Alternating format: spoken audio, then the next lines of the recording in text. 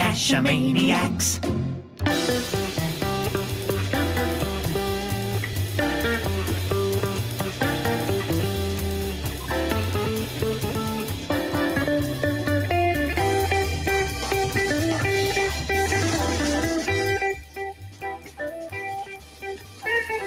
Geo Gearheads. Good morning, good evening, good afternoon, wherever you are, and welcome to Geo Gearheads. If you're brand new, and we hope you are, if you're old, we like you too because it's more like us. This is Geo Gearheads. This is a weekly show about geocaching and geo related or geolocation related games. I am Chris of the Northwest, along with our host, Daryl W4. Daryl, how are you doing this week? Yeah, much better than I was a couple of weeks ago. And Oh. you know, I really enjoyed having the day off Mhm. uh, for uh, last week's show. And well, talking about old, that episode was uh, uh, pretty fun to go back and listen to part of. Unfortunately, I didn't get to listen to the whole thing. I, I swore I was going to try, but I just couldn't find the time to listen to the whole thing. Yeah, that happens. And it was an hour long show, Wow.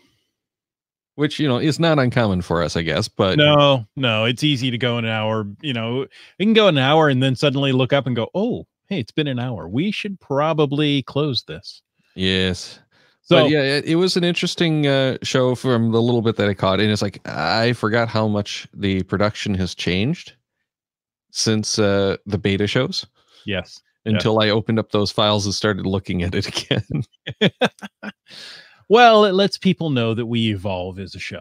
hey, well, I did take care of most of the uh, issues that we've addressed since then in post. So Tell me hopefully what it was. Well, the big thing that I changed in my uh, workflow was doing the normalization after the mixdown. Mhm. because we were having some issues with some hot uh, spikes in the audio. So I do another uh, audio compression after the mixdown Mhm. that makes it nice and even and smooth, so it's better for the cars. because we like smooth podcasts. Well, and we know how many people are listening to this in the car. It just happens a lot, and even on the trail, if you're listening, it makes it easier. Well- it might make it sound a little bit flatter and unnatural, but it makes it so that you can he- understand what we're saying easier. And if you've talked to us in person, you realize we are flat and un- unnatural in person as well. Yeah, we're we're much flatter and less natural in person. You know, I've had several people tell me, you sound just like you do on the podcast. So, Daryl, you do good work. I just heard this week there are 700,000 podcasts being produced right now. So, Wow. we thank you for listening to this one. You know, that's so many podcasts that even though if those were like just a minute long, you still couldn't even listen to that in a week. Nope. You can listen to like six of them at a time. Okay, then you might be able to get to it. wow. Anyway, we're happy to be back this week, and we're coming back with a show that a lot of people have been uh, clamoring for, which is the GPSR versus smartphone. So we figured since we had uh, some pro smartphone feedback, we'd bring in one of our friends, Limax, who tends to be a little bit more uh, pro GPS, Just a little bit more? just a little bit more. Hey, you actually still use the smartphone. Yes, I do. Yes, I do. But um, yes, I also always have a GPS going at the same time. Yeah, I know about that. That's what I've been doing recently. Um, and I think my smartphone got jealous and has been far more accurate since I started using my GPS. Okay. Well, you know, Is that my the way it works? I don't think so. Maybe I'm attracting more signal to me, more GPS signal at the moment because I'm using two devices. Mm, no, Oh, Well, I do know that might actually uh, uh, cause more problems too, though. it's true. What were you going to say, Limax? Well, what I was going to say is, I know I've been doing a lot more um, smartphone caching lately, also, as I've been helping my girlfriend uh, Pithla Bear get up to speed with um, geocaching as well. Mm-hmm. She's almost hit that magical three digits. Um, Oh, thought we were going to get it at, up in Copperopolis, but um, the sun conspired against us. Copperopolis. Yeah, Copperopolis, California. Is that the city made entirely of copper? Uh, it's actually where copper was discovered. It was a it- Really? there was copper mining up there that was then used for munitions uh, as far back as the Civil War. I had no idea. Now, if it was Leadopolis, Superman couldn't see anything. That's correct. But but Copperopolis, he can still see through copper, so yes, he shouldn't can. be an issue. All right, let's get back to some uh, feedback because we've You're got uh, a good little note for uh, GSM times two here. Uh, both for the win. I didn't throw out my corded drill when I bought my cordless drill. I used all the tools in the toolbox. So I want to know: is he using them all at once? Why not? Hey, I Because just you- used you- how are you going to get the two drill bits into the same hole? Okay, well, the, yeah, angles. yeah. I was gonna say angles. You could That's what I was afraid of. you could alternate. Um, That's not are- how you're supposed to make tapered holes. I had to drill through some tube steel this week. And you know, you can do it with the corded drill. It doesn't quite have the speed. So I got out the or the cordless, I apologize. So I got out the corded drill and just went to town. You know, you can you that motor's a little little more durable. You can put a little more pressure behind the drill and you know pop on through. So Yeah, Yeah. definitely. don't get rid of those corded drills. You're gonna want them one day. And Yeah, well, and I had to replace mine because I didn't have one. oh I wait, had one that No, burned out. there you can't replace one if you didn't have one, Daryl. Well, no, I mine burned out Okay. and I didn't replace it. And then one year it was like, these cordless drills are killing me. I'm just going to go buy a good corded drill. Mhm. And they're remarkably expensive. Yep. But you can't get like the cheap corded drills anymore, it seems. Oh, you can. I I got one at Harbor Freight a couple of years. I was just going to ask, did it, is it a uh, Uh, I Chicago Electric? it. I, I returned it, and she says, "Oh, it doesn't go in reverse." I said, "No, it doesn't go in forward." You know, and the next one I got worked fine. Um, uh, apparently, she a lot of them, you know, wouldn't work in reverse. Mine mine wouldn't work forward, but I just use it as a screw gun, you know, for light duty jobs. It's got a battery that you know is not going to do much, but Oh, no, we're talking the corded ones, though, not the cordless. this is a. Did I say corded? This is a cordless. Yeah, the cordless ones you can get really cheap. Yeah. Yeah, I was at IKEA and I almost bought one of their uh, little cordless drills because it was like twenty-two dollars. And it's not a bad little thing, but Mhm. for twenty-two dollars, it seems like uh, you know you can't go wrong, and it's just a nice little, almost disposable tool. Carry it with you when you need a uh, uh, power driver or whatever, and Exactly. Don't need to worry about accidentally leaving it behind or dropping it and bursting into pieces like uh, There you go. uh, Code Junkie does. Anyway, getting back to the actual topic of GPS Oh. versus smartphones, GPSRs versus smartphones. corded versus corded cordless. well, they're all cordless. Oh, okay.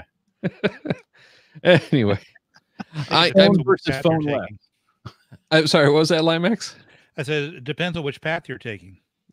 Oh, Oh yeah. Well, and I guess maybe the little dots that we're leaving on the uh, GPSR screen, those tracks, maybe that's actually a cord. I, I look behind me. I never see them, but I I see them on the map, but not on the trail behind me. I don't know how. Oh, the worst part is I was training someone like uh, over a decade ago, I think, about how to use a GPS, and they kept looking for where is you know, where are these dots? It's like I can't find the green highways. That the That's where we walked. Yes, but I'm looking where we walked, and I don't see the dots. Mm-hmm. So is that cord with two O's? Yes, corded and cordless. Oh, yo, You know the type of geocaches. Oh, that was really good. yeah, that was. Can we hit excellent, Limax but- on again? I mean, oh, for we'll that have we'll have Limax on again. right there, it's worth it. Oh, yeah, yeah, yeah. We're, it's going to be one of those nights, isn't it? Uh, It but in any when case, when when we're looking at the uh, uh, GPSR versus smartphone thing, I've actually kind of changed my opinion back toward GPSRs recently because it seems so many people have been having more of those uh, problems with the uh, uh, locations on the G uh, the smartphones than we've seen since you know like the 2008 2009 era. Daryl, it's a good thing I was already sitting down. Yeah. Yeah. You know, that said, I almost never take out my GPSR. Well, there you You go. said 10 years ago. what was that? Just like you said 10 years ago. Or uh, actually, no, it was seven years ago. You said that exact same thing on the old podcast. Did I? Okay. Yes. Wow. You said it's around your neck. You're usually pulling it up to read the description, and everybody else had found it already. Oh yeah, yeah, yeah. Yeah. No, and that's I, I don't even take it anymore. I used to take it all the time. Now I don't take it. I don't even bother. I really want to, but it's like I never use it. I'm addicted to the smartphone for a whole variety of reasons. So I never pick up the GPS. I'm sorry? Instagram and uh, Flappy Birds. No Flappy Birds. No. Sometimes Instagram. Sometimes uh, uh, YouTube streaming. Angry Birds, Nope. Candy Crush. Nope. That may be all the games I know. Pokemon Go. Oh, Pokemon Go. Yeah. But I have totally given up on uh, Harry Potter. Yeah. So that one's not even on there. Ingress, I have not played in ages. I kind of gave up on Ingress with Harry Potter because it's like I, I already play too many games. I got to give up on Mhm. something. So I gave up on Ingress because Ingress around here at least has pretty much died out, it seems. Hmm. So Harry Potter, I got into it. I shouldn't say I got into it. I tried it for about two and a half, three months. And I finally got so annoyed at it that I just deleted it. Wow. Uh, Ingress is still going strong here. In fact, I just this week I think I saw both factions, uh, our local factions, you know, have their own logos. I've seen those on cars just this week. I've actually still seen a lot of those logos, but they almost always have uh, one of the uh, three teams for Pokemon Go as well. Yeah. So Hey, you know, uh, Scott, GSM times two wants wants to know. Daryl, can you send me any Oregon models you want to get rid of? see, that's the thing. I never get rid of my GPSRs unless they're toast Mhm. or unless I lend them to someone and they never come back. So lend GSM times two one of your Oregon models. Uh huh. Yeah. Uh-huh. I might have to send Gotta my try. 750 because you know that one really annoys me. Yeah. But I've I've not retried it since uh, uh, the code updates, the firmware. Mm-hmm. So I really want to get back and try that. Uh, superior anyway. which one's that one? The Magellan? That's the Magellan. Yeah, I like the Magellan. Uh, I had the uh, GC that I actually used as my um, kind of backup because it it had the uh, SiRF Three chipset when everything else had to dump it, and it really worked well. However, the software at that point was a little bit buggy. Yeah. So it, it was kind of a rough one. Well, this one, this one actually is on its way out. It's not waterproof anymore. Let's see if I can. Uh, the There you go. there, right there. That's the power button. Oh, that Um, doesn't work so well. No, it doesn't. No, there, Wh- there's, Why'd you there's do a, that? It still works, but I mean, you know, quite a bit of the rubber's gone now. Duct tape. Yeah, or something. I mean, it's definitely not waterproof. I mean, it still turns on and everything, so I'm fine with it. But uh, you, you've seen the the commercials on TV where the guy sprays the stuff and it makes a screen door waterproof. Just spray that on your GPSR. What could go wrong? I can't think of anything that couldn't go wrong with that. No. And make Ugh. sure you get the screen too. It since it's an older screen. Houston, Texas, Dave says that the uh, GPSR is a good backup when you're uh, out off the grid. I'm not going to contest that, but I would say it would be the primary when you're off the grid. well, I Yeah, yes, there's- cache everything. yeah, there there's so much that you can do with a smartphone to cache it if you have the right software. And Granted, plan ahead. Yes, exactly, but it requires planning ahead. I was going to say, you No, the foresight But it to do that. requires planning ahead if you're going to go out with a GPSR anyway. right.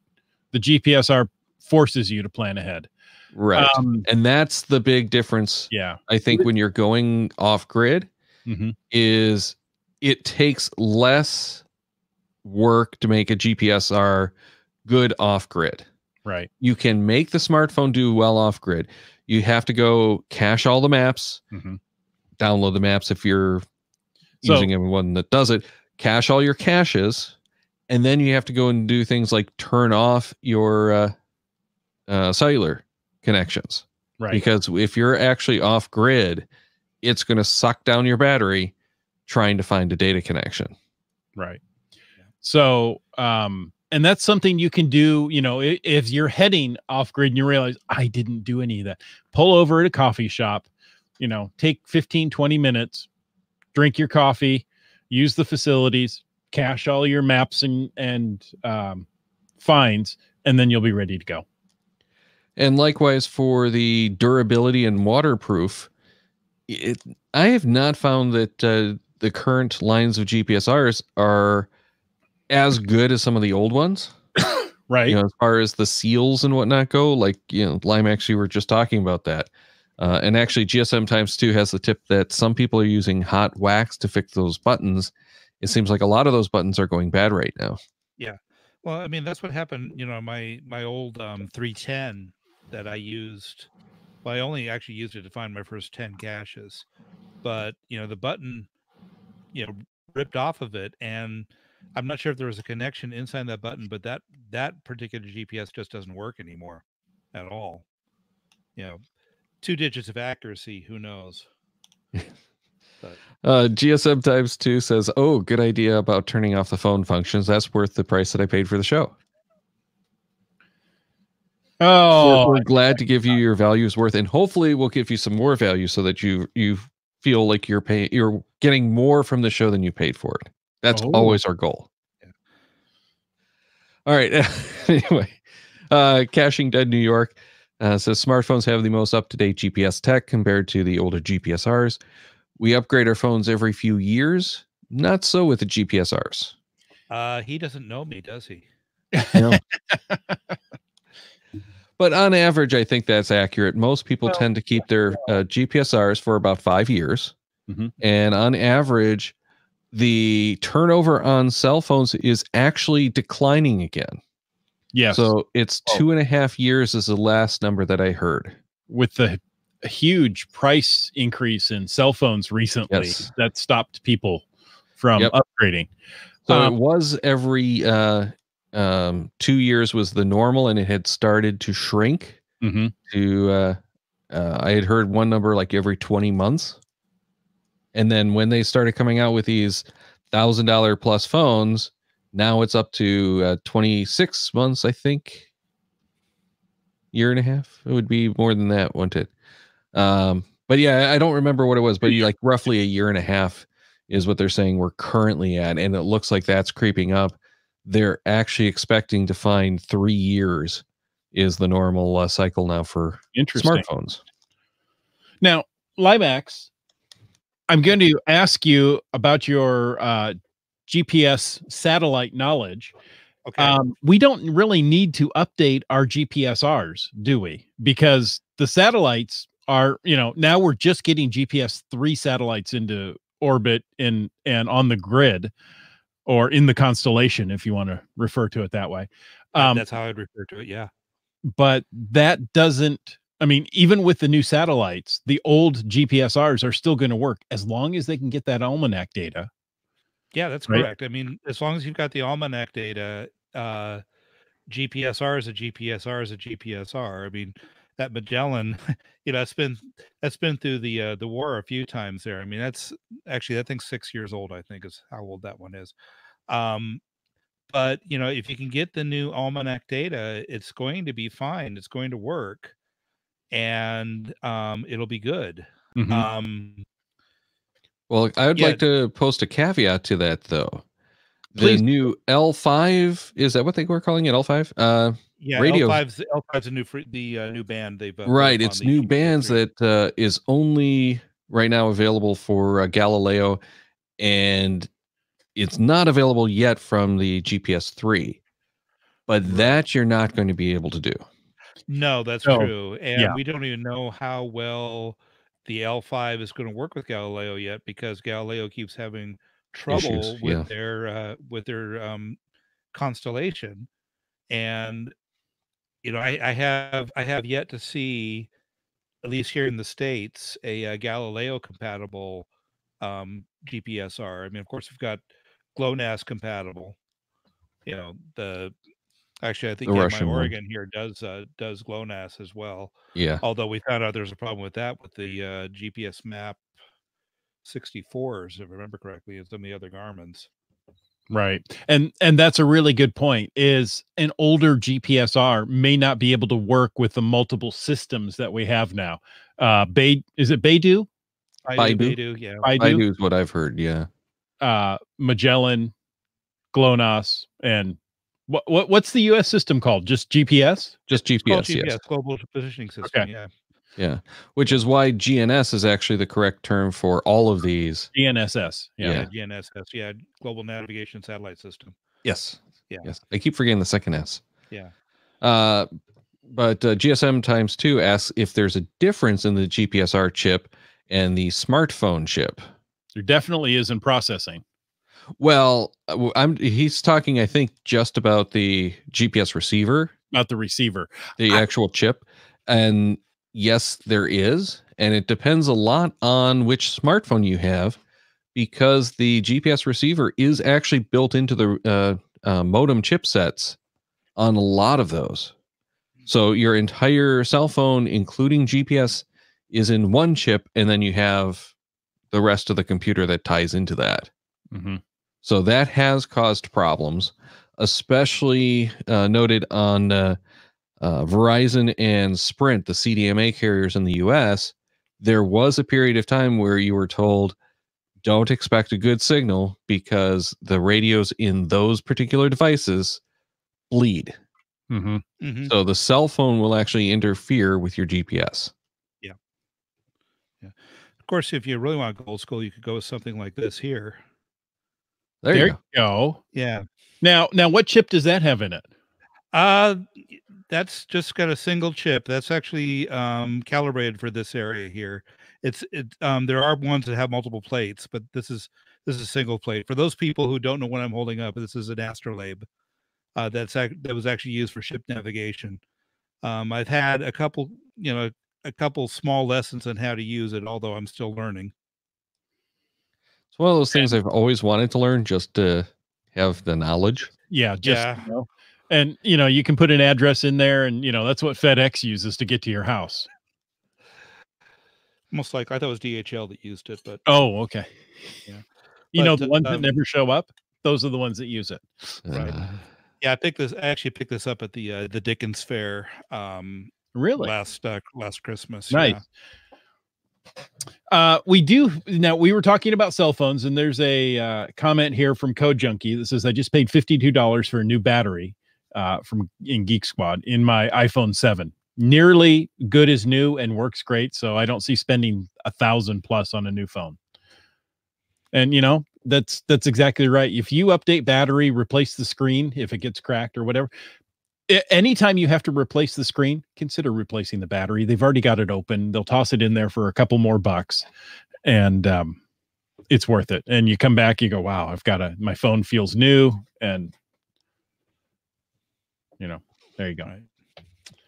Uh, Code Junkie wants to know what that was. An Astro Labe, L A B E. Labe. Yeah, L A B E. Yeah, I've got a sextant somewhere too. I don't know where. I don't. I'm not sure where it is at the moment. I don't know if we can talk about that on a fam- family friendly podcast. yeah, on the uh, cell phone uh, front, that's actually one of the reasons why a lot of people have been uh, complaining about uh, the upgrade cycle and the price, because the, uh, in general, people aren't thrilled with the new phones that are coming out. Right. Yeah. You know, yeah, they Well- like the better cameras, they like this, that, and the next thing, but the rumors from fairly good sources are saying that the new iPhones for 2020 may actually bring back the button, which I don't see that happening, but that's Be one of my nice. big complaints. Bring Yeah, my I- back button back. I button. love my Touch ID. Yeah. I do too. I've got a friend who just um had to get an iPhone X and um he hates face Face the- the IDs. uh, Well, Face and if you have the the 10, Face ID is nowhere near as good as it is on the 10s or on the Yeah. 11. Yeah. So that you know, it was a first generation product. We'll give it a little bit of room for that. Yeah, but, I just don't like it. You know, I've got uh, a number of my uh, coworkers that have it, and the amount of effort it takes to unlock the phone doesn't really work for me, especially because you have to look at the phone. So if I need to look something up on the show here, I have to actually like look down at the phone to unlock the phone and then bring it up. So it, it doesn't really work. And I have the same problem when I'm doing uh, uh, Zoom conferences at work because almost everything we do at work is on Zoom, and I don't want to take my attention away from the screen. So that's one of my big complaints with the Face ID. That said, it does definitely work better on the 10s to the point where I'm thinking I'm going to upgrade to the 11. But the next thing that they're talking about uh, for the 2020 phones is we're going to likely see the end of Lightning on the high end phones, and we're going to go to USB C. Yay, standards. so eventually. they come out with something else. Uh, yeah, well, that's my worry is that we're going to get everyone finally switched over to USB C, and then we're gone. Yeah. Okay. Oh, Um, and uh, Code Junkie said that he has the iPhone 10 uh, for work, and the Face ID sucked or had past tense. It's so much easier on the seven with Touch ID. Yeah. Yeah. and No. that's why I'm on my eight still. well, and and you know, if you if Go you're ahead, spending a thousand dollars for a phone and yours you come like when i first got my eight um, i was very disappointed with the gps quality in it. And i'm like oh, well i'm stuck with it for a couple of years. I'm not going to go buy another you know it wasn't a thousand dollar phone but i'm not going to go buy a thousand dollar phone you know within a year of buying this one just to hopefully get a better gps what if it's no better? What if this is just you know how apple products are from this point on? You know that that that really limits your ability to switch to investigate new products and you know explore there i'm done now And soapbox put away. got off my it wasn't a big one which is which is good because it's only an hour long show. okay well should we read some email that we got I was just gonna say we're, we've been talking so much about uh, smartphones. Let's get into the pro smartphone e- emails that we received. So, pro smartphone, the first one comes from Tay Ken Cash. And with capital letters, I assume that's how it's pronounced. Thank you for doing that. Uh, I've been caching a little over two years and never have used a handheld GPS to cache with. I started using CGeo with a basic membership and later started using the official geocaching app after I went premium and have found that as long as I save the geocaches to a list and download the offline data when I have service, then once I go out of service, I'm still able to access all of my cache info and it always navigates me right to the cache. I have also had good luck with getting coordinates for placing caches where there is no cell service using my Galaxy S10. I don't see myself ever using a handheld GPS, even for those rural areas where there is no service. I believe smartphones are the way to go. And he gives a thumbs up. Yeah, so that's uh, kind of where I was at for a long time, but not a hundred percent. Waffling Daryl. Yeah, yeah. Well, Just wait. Again, well, again, we've had these problems on and off with the uh, uh, location information. I had that one, I think it was the iPhone 7 that was delivered with a non functional GPSR. Mhm. It had no location. And at that point, again, I was already at that, you know, you know, I really don't see a reason to have a GPSR. I got that one, it didn't work. And it's like, yeah, e- even after I got the new one, which was good, Mhm. it wasn't as good as my iPhone 5 had been, Gotcha. which wasn't as good as the iPhone 4S. Which wasn't as good as the three. No, it was my, the 4S was the best of them that I had. Nothing beat the 4S. And meanwhile, uh, Francis uh, is asking for GeoGear has recommendation list of their favorite uh, phone models for each platform and the recommendation for the GPSR models. I don't know if we really want to do that. Seems like- GPSRs, I think, are pretty easy. Well, we have a let, tendency to pitch on this quite a bit. let's tell people what we're using. Yes, I like this plan very much. There you go. So I have uh, iPhone 8. Um, and you know, like just when I started the show, uh, a month ago, two months ago, I was very disappointed with the GPS performance. So I pulled out my old Oregon 600. I know it's not that old, but for me it was right. It's it's the GPSR that I had mounted on my bike. That was a very good biking computer because I'd pretty much given up using a GPSR for geocaching. Um, I pulled that out, updated it, and boy, I mean, I'm finding those caches right and left. And I have them going side by side. So one hand is the phone, one hand is the GPSR. And, you know, now I look at it, I'm back to the phone because I find that they're both just as accurate.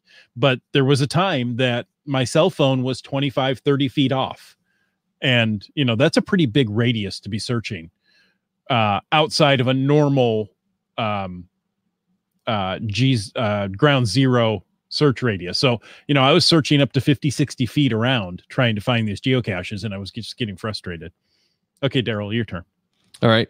For me, I'm still using the uh, iPhone 8 uh, GSM.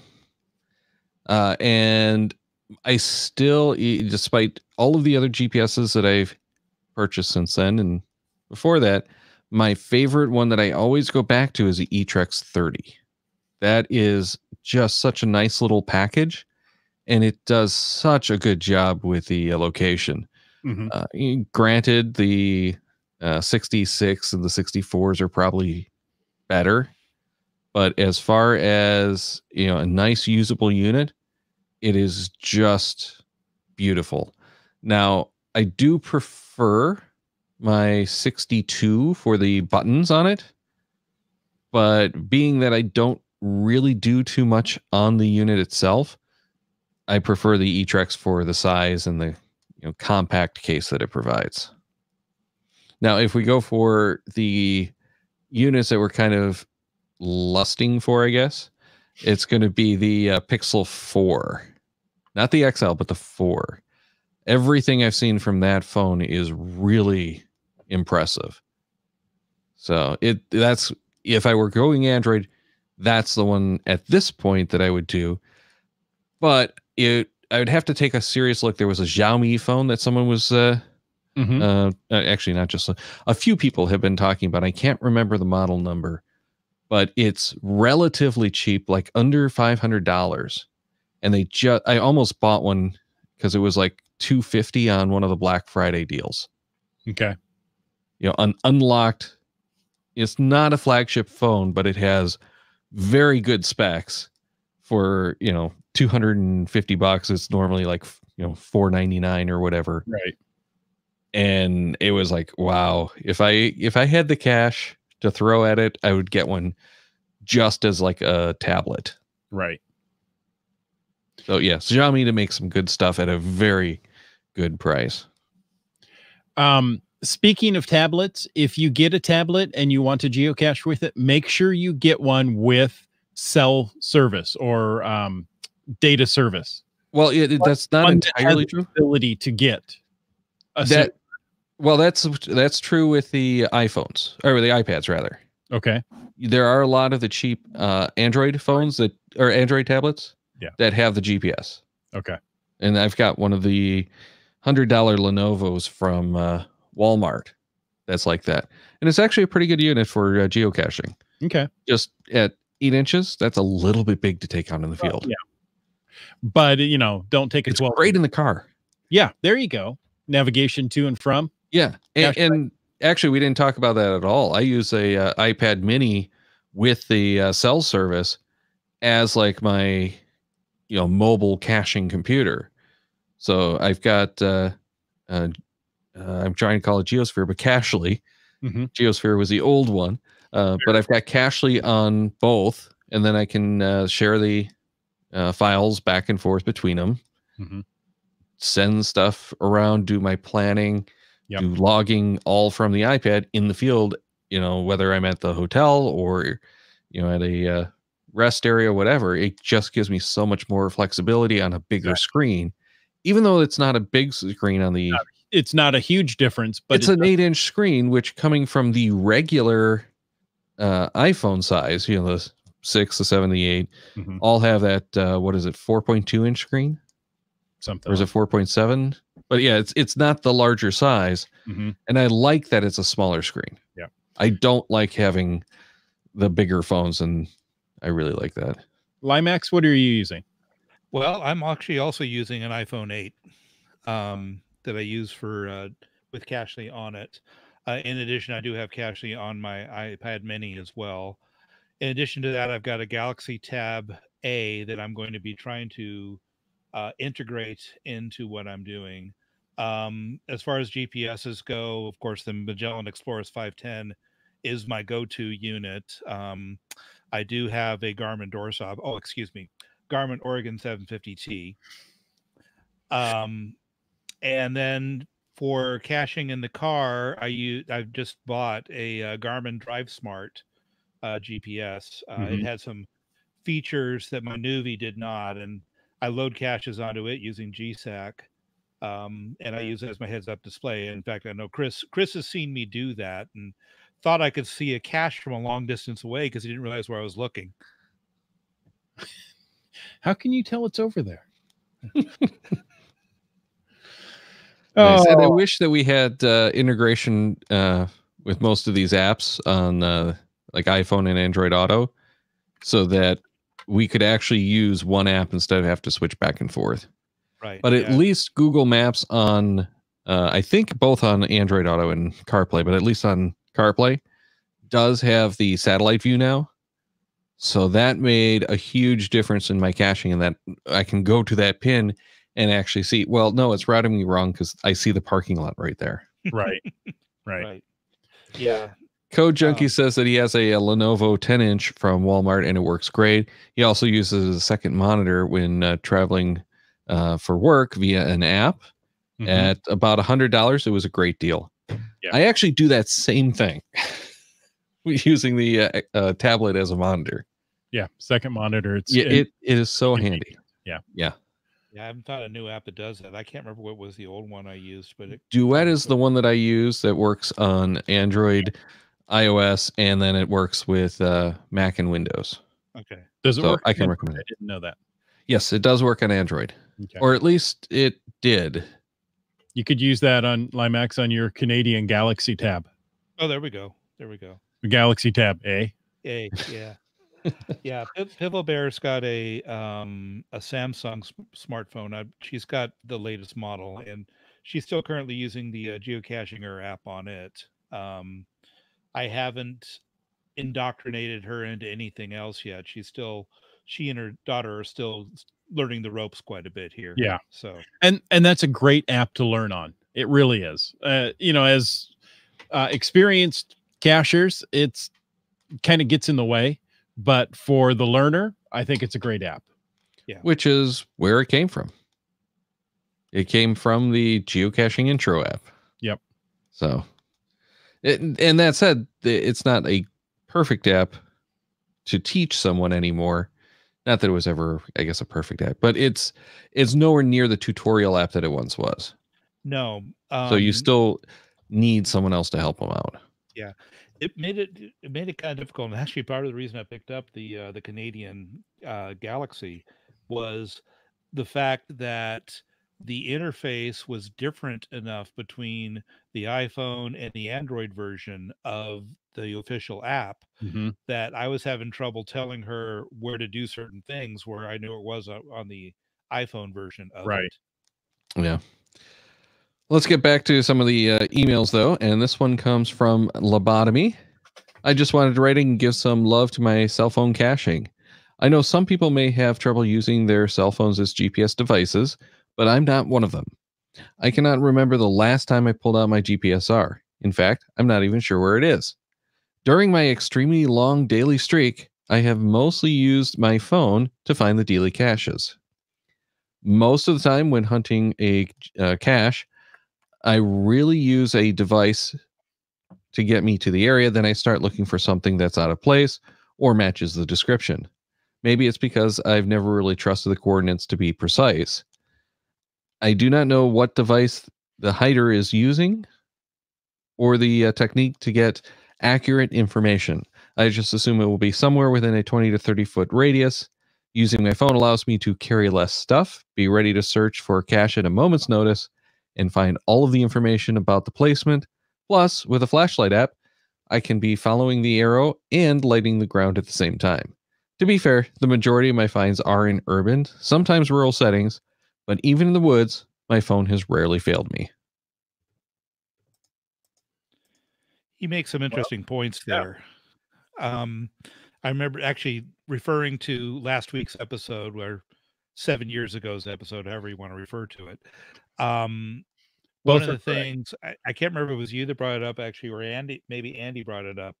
Um, back then, the cell phones were less accurate than the GPSRs, and there there was some new technology that was coming on to make the GPSRs more accurate at that point. And for all I know, it just could have been the the two F satellites.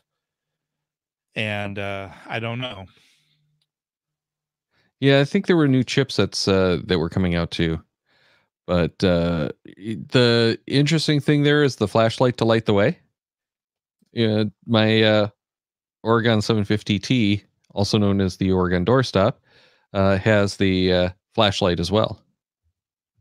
So there, that's one of those things that you are seeing in cameras as well on a lot of the GPSRs now because it's not that tough for them to add it Mhm. and it's one less thing that uh, people can uh, argue in favor of a, uh smartphone for.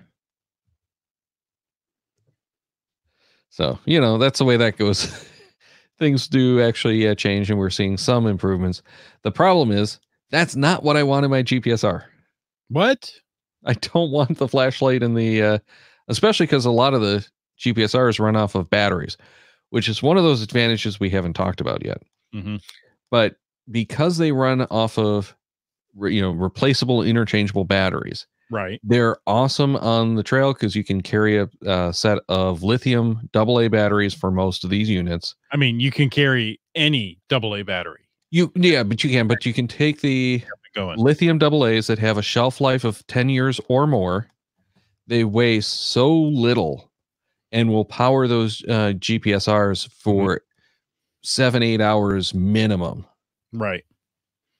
and always have that backup Right. So, you know, you've got an option for backup power with those that you don't have with the smartphones. Right.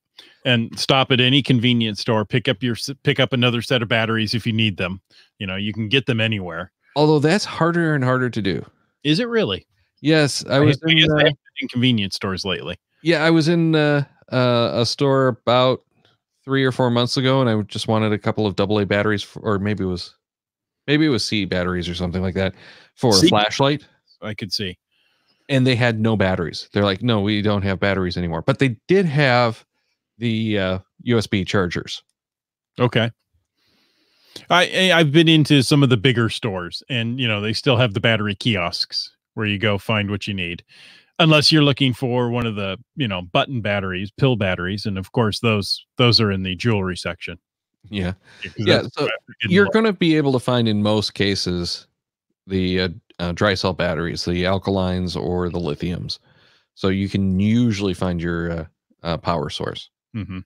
Yeah, So- um, I know convenience stores, at least the ones I'm going to, they have have them behind the counter now, but they still have Oh. them. Interesting. So yeah, um, I I have a feeling that they have may have been may have been walking off on their own. Uh, very possible. Uh, I wonder if it's also just they, you know, don't want to put uh, more valuable shelf space uh, for something like that that doesn't sell much. Right. Well, I mean, you got to have it for your TV remote. Yeah. Yeah. what else do you use batteries for these days? Al- Although, you know, what was it? Uh, Mice and keyboards. no, no, it was like uh, one of the new TVs that uh, someone was talking about. They got rid of the uh, batteries and it's a uh, rechargeable remote. Oh, interesting. Yeah. And apparently, this is now a trend because people just don't like batteries anymore. Right. And you, know, Everyone expects rechargeable. you plug in your remote at the end of the evening and Well, and there's more and more phones or uh, more and more TVs where they don't even come with the uh, remote. what? They're actually doing apps from the uh, phone. I don't like that. I don't either. I want some kind of physical control. That's not on the TV, especially because you can't get to half of these So, buttons now because they're on the back. goes down. You can't use your. You can't change the channel on your TV. No, I think it's Bluetooth. Okay. But see, then that requires your phone there and your phone charged and you know working or tablet. or something. Yeah. Yeah. But yeah, it has to be, you know, a, t- a phone or tablet if you have just like a computer and you don't have a smart device, which I know who who listening to the show would be in that crowd, but yeah, it, it causes some problems. Well, yeah, the new Apple TVs. I mean, um, it works very well with the TV app. Um, in addition, of course, to the remote, and you have to actually charge the remote. Yeah, Uh, which is a Bluetooth remote. Same thing with the uh, Fire TV, and I believe all the Roku's are. I don't think any of the Roku's have ever been uh, IR, but I could be wrong. Hmm. But they've always been a you know, uh, RF uh, connection because that way you can put the box behind the TV. Right. You don't need to see the box anymore. Right. Right. There's nothing to see here. This isn't the box you're looking for. Wow, we are getting so far off topic on this. Are we really? Oh wait. But hopefully people are finding it uh, valuable because a lot of this does i think kind of overlap which is how we get there in the first place yeah, I, we were. Um, Piffle Bear and I were out geocaching up in Armstrong Woods back in June, I believe it was. It must have been, I think it was June. Um, that's up uh I think it's Mendocino County. It's it's north of Marin is where that is. And um we were we were actually trying to follow a letterbox that was using um images. I had used um I had downloaded everything ahead of time onto Cachly so that I would have it because I figured we'd be out of cell phone range. I forgot to download the images at the same time because of course that's not something that's turned on by default Right.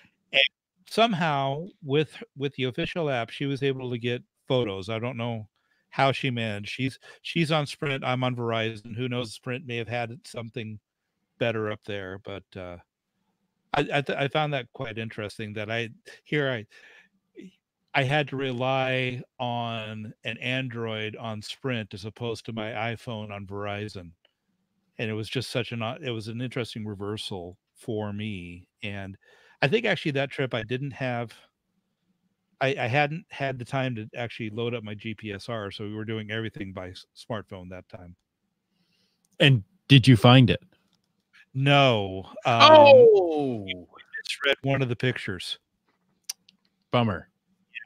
Yeah. Um, we've been planning to go back up there, but uh, with with my health issues, it's just not been able to happen. hmm that's unfortunate but i do like those Code Junkie says, like the good old days, put a 13 position dial right on front of the TV. I don't uh, know. Gentlemen, do you remember when you were the remote? i do Yeah. Actually, Your, your parents would say, go go change it to channel. I remember channel 13.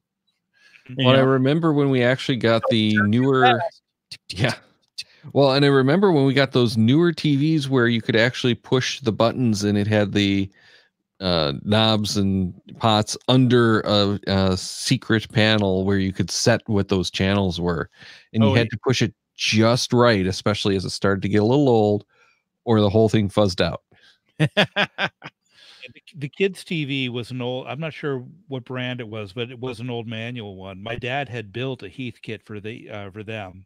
okay. built the cabinet in fact to put it in and uh, it had a remote it was it was um you could actually actually hear the noise of it and it was mechanical so it would go ka-chunk ka-chunk as it was going through the channels yep Yep. so all motor driven Wow. wow And do you remember the UHF dial?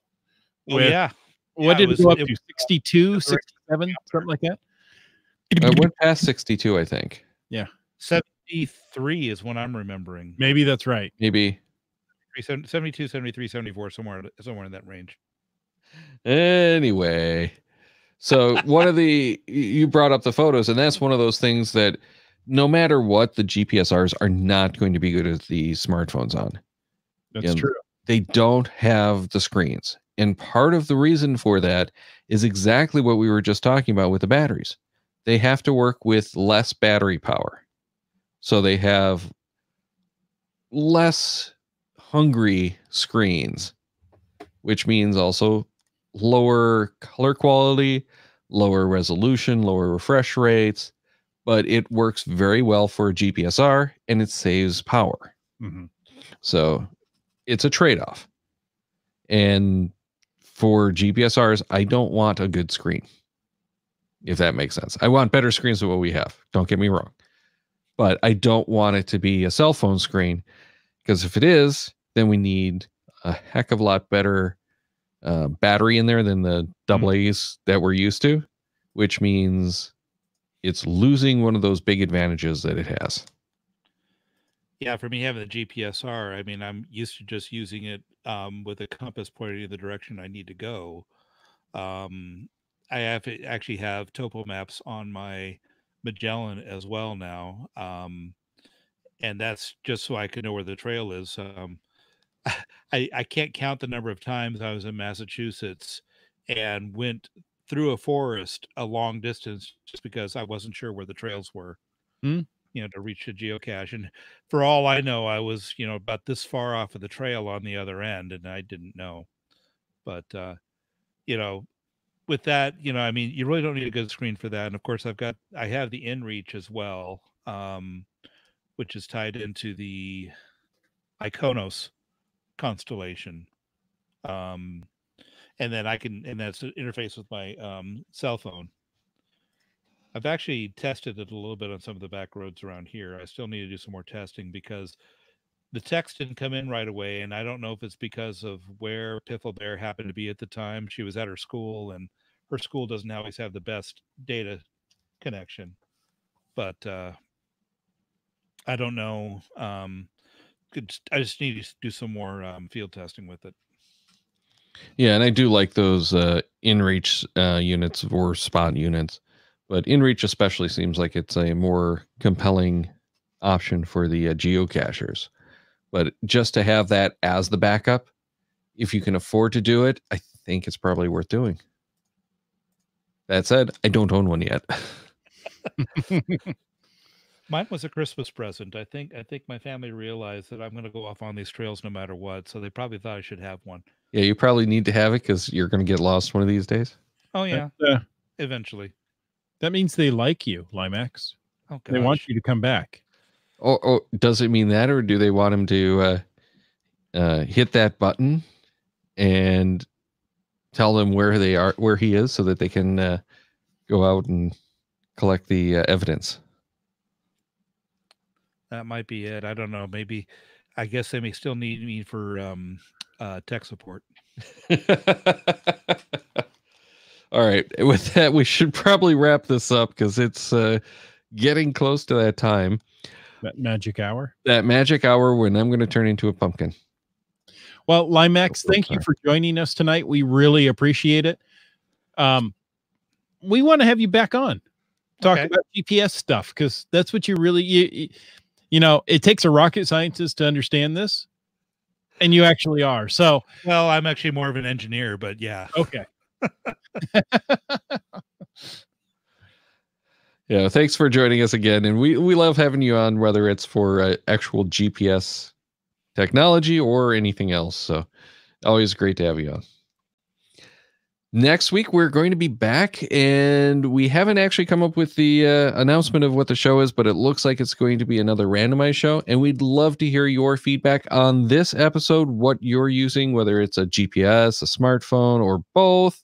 Let us know because that's going to help us out a lot and uh, you know help out your uh, fellow geo gearheads but check the Cacheamaniacs website at cacheamaniacs.com for show notes on this and all of our episodes.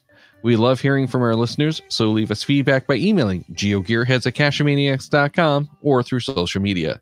Your support helps keep the Cacheamaniacs shows coming. Please consider becoming a patron through a link on our website to support the Cacheamaniacs shows Geo Gearheads is produced by Chris Nuffenauer and Daryl Wanberg. This show is copyright 2019 by Daryl Wanberg. All rights reserved.